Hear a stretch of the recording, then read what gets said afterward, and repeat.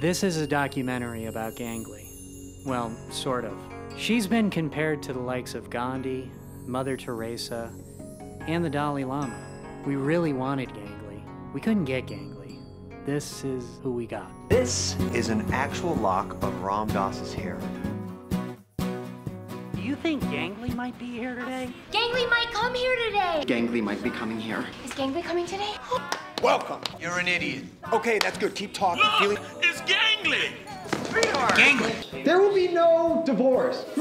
Do you have a license to practice therapy? I am not signing those papers. I am not leaving here until you do. And that's what being ego free is all about. Are you all right? I am far from all right. Look at Buddha!